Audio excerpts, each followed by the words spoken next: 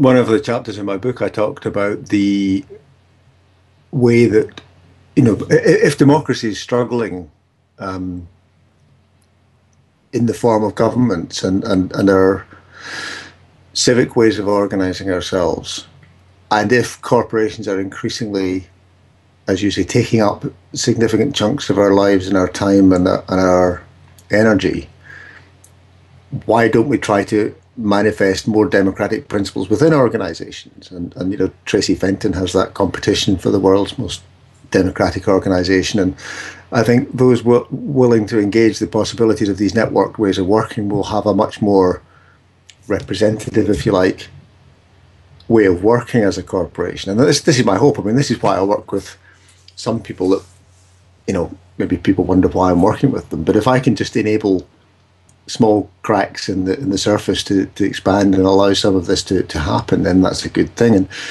I'm just reading a really good article yesterday about, you know, the end of or the, the, the, the morphing of democracy, how it's really fundamentally changing and how, you know, left to centre parties are just struggling for definition and uh, right wing parties are, are becoming more popular in some parts of Europe as things get tougher and you know, it's clear that there's a lot of things at the moment um, really struggling and not working.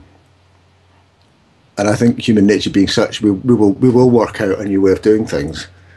Um, whether that's dependent on large corporations or not, I don't know. I'm not, you know, that was I'd have worries about that as well just by the nature of how they're set up, you know, the whole thing about being there to, to maximize shareholder value and blah blah blah. You would ha- you would have to fundamentally rethink markets and the way they're driven and the values that they manifest before you could, I think, begin to trust the rest of society to them.